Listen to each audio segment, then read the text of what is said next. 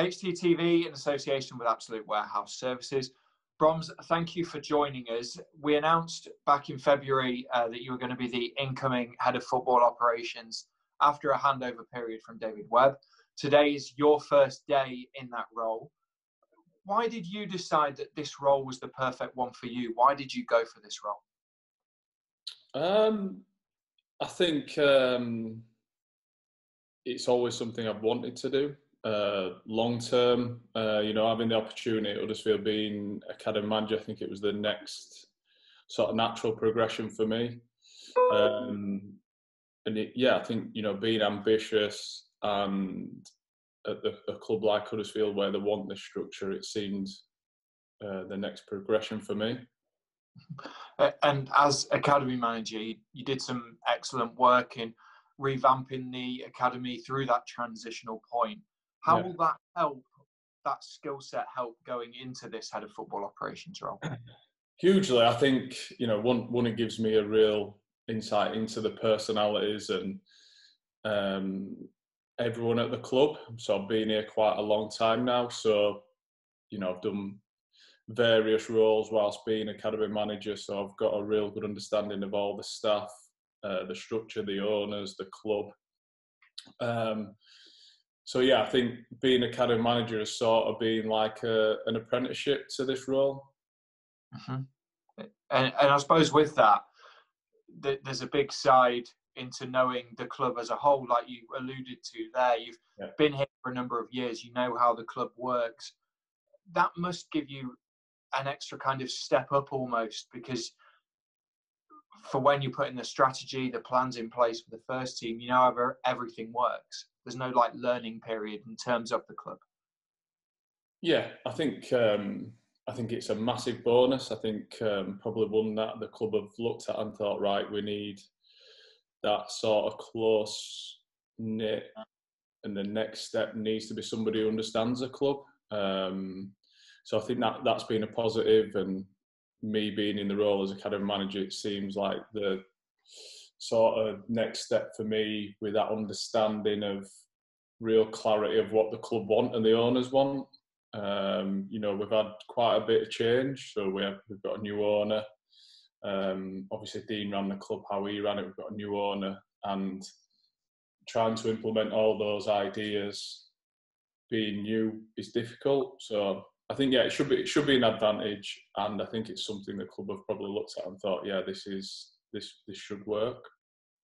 And since the academy changes, we've seen nine players from the academy make yeah. their first team debut. Obviously, you knowing the academy, how it works, the strategy involved with that helps tie everything together even further on the football side. Yeah, I think a big part of um, you know the head of football role is to understand the academy. Um, you know, we we did make a big change, which you know was was publicised, and you know Dean was a big driver of that. Phil's taken that forward, and they generally believe in the young players. So it's a huge strength for the club. Like you mentioned before, having nine debuts in just over two years mm. shows one that they believe in young young players, and two that they've invested into doing that. Um, so you look at your Lewis O'Briens and your other players that are coming through and really having a big impact. Is a it's yeah. a huge positive and something is part of the vision of the club. Um, so that that that will help. Obviously, I've got a really good understanding because once we restructured, I was at the beginning of that project. Um, I think you know the club have made a great choice in Emir and developing him to become the next academy manager. So I think that's that's a real positive. Yeah, and obviously now you're in the head of football operations role. Yeah. What do you think that entails? What's your understanding of that role? Because a lot of the wider fan base think yeah. that role is all about recruitment, but that's just yeah. a small part, isn't it? Yeah, yeah. I mean, the the football side has grown so much you know, since I was playing and over the last say 20 years of playing and coaching, the football side has developed into a business. So, you know, my role is to oversee all, all those departments and, and make sure the performance of those departments is at a really high level. Uh, you know, we're competing at the championship, which is one of the, you know, most competitive leagues. Um, and yeah, my role is not just recruitment; it's to make sure we maximise performance in, in every department. That's that's including, you know, you've got coaching, uh, physical performance, you've got medical, and recruitment's just you've got the analyst side, the data side. So recruitment's just an arm of that. Mm. And I suppose with your experience, you, like we alluded to earlier in the academy manager role, the recruitment yeah. side, obviously, you're a massive part of in terms of bringing players into that new academy setup. Coaching side, you've, you've coached the academy sides over the last few years as changes have happened. So you're well across all of those means. Yeah, I think you know you look at across most of the um, departments at, at, the club that I'll be overseeing. I've got an understanding of pretty much all of them. I've hmm. seen, you know, I've experienced it as a player and as as a coach and as a academy manager. So, um, you know, I do. I feel when I talk about it, I feel old, but you know, I've still got the energy to. Uh, the experience that I've had is is in football, um, and I, I feel that's a strength. The bits I've obviously had to develop over the years is the sort of strategy and the leadership and management, uh, which is a huge part of, of, of this role. Um, but like you said, I feel really comfortable to be able to have an opinion and affect all all the departments. Um, you know, not just the coaching side. Um, and I feel feel that's a strength that I have had those experiences, been lucky enough to have those at Huddersfield in the academy manager role, and hopefully I can use that experience to impact at first team level. And and obviously over the last few months, David Webb has had that time to to hand over what he's done at the club to you. How important have you found those last few months just to get to terms with the with the new role?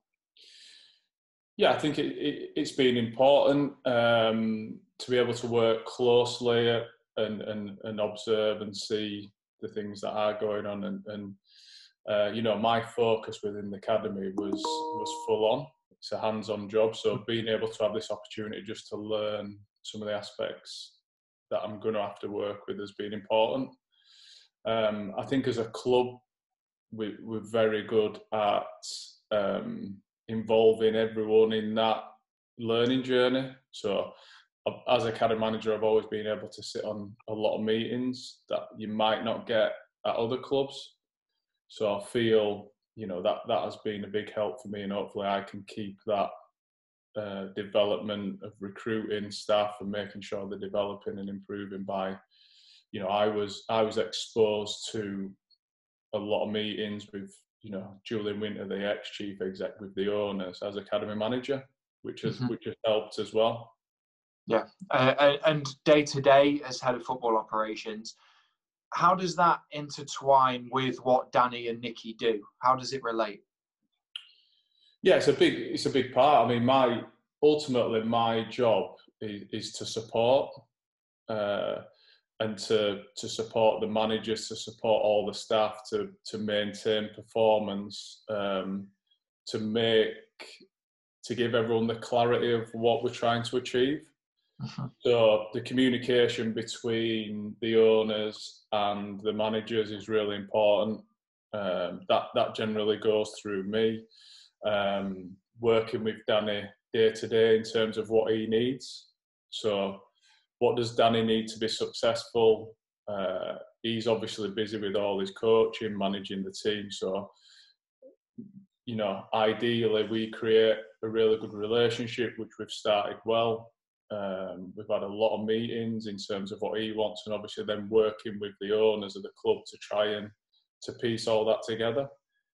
Yeah, and I suppose that can link in again with then the academy setup. So when the yeah. the EDT side come up to train with the first team, for example, or make that step up, then it's yeah. almost seamless transition. Yeah, yeah, and that's the you know the the reason why we made the change within the academy was to bring everything closer together. Um, so part of my role is making sure Danny's aware of all these players. uh, yeah. the emerging talent players, which he is. He, he's, he's got a passion for developing young players. Um, you know, he's got he's got a teaching background. He's been he's, he's experienced football manager, and he's got that passion, both him and Nicky, for you know mm. wanting to improve players. Um, you know, so that that is you know in a nutshell, just trying to support everyone, uh, to communicate with everyone, and, and, and try and make Huddersfield Town as successful as as possible, really. Hmm. Uh, and and obviously at this moment in time, it is a very difficult situation, not only in football but obviously across the world. Yeah. For you, obviously isolated, locked down at home. How have you been keeping in touch with Danny, Nicky, all the other heads of depart- department on the football side to make sure that we are still a well well oiled machine? Yeah, it's been um, like I said, a, a different situation, uh, challenging, but one you know where we've been able to, you know, look at the positives. So I think the mindset at the club is, you know, how can we come out of this better than how we started? So no, no one's, you know, sat back thinking, oh, we can't do anything. It's been really proactive. I've had, you know, regular contact with Danny, meetings with him about how we can improve everything. So I believe this this time, this period has given us an opportunity to look at the detail of what we're doing. So how we work with the players, how we work with the staff, how do we want it to look um, once we come out of this period. So for us, it's been a real positive because you don't generally, because football's that fast paced, get to spend this much time with the manager. So yeah. creating that relationship with him and Nick has been fantastic. Being able to, you know, spend time over these these platforms. So Danny's uh, now an, an IT whiz is saying. So we, have all we've all actually improved uh, our IT skills, which has been one positive. And and like I said, spending being able to spend that time with each other. Uh, because, as I mentioned before, football is that fast pace and you're concentrating on games. It's difficult to sit down, so that that has been a positive. And and being around the staff that want to improve what we're doing. Yeah, a hundred percent. Like you said, in in football, like you say, it's very fast paced, and then yeah. the summer comes around and the focus immediately switches. In in this period, there's more of a chance to sit down, discuss ideas. Strategy, look at what we've done. Yeah. But for you in your role as well, starting, that must be really, really important just to to gauge everyone's thoughts and to put a strategy in place almost. Yeah, massively important. I think you know we've got um, Phil, who you know is really, really passionate about the club and you know wants to move move the club forward from Dean's sort of time. So you know we've still got the support of Dean within that role, but Phil's got his own his own ideas and his vision for the club, which is fantastic to be able to you know spend a bit more time with him. Um, and then also work with Danny to be able to try and bring that to life. So, yeah, I think a lot of people will be thinking, well, what what types of things we're doing within this time at football? There's a lot going on behind the scenes, particularly with you know the players and the communication with players, communication with the staff.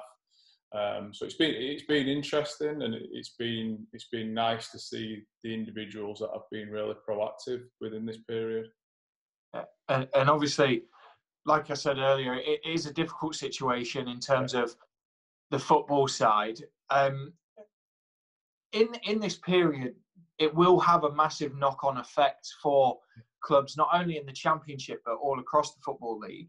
Yeah. How do you how do you foresee the future of football being impacted and changed because of this?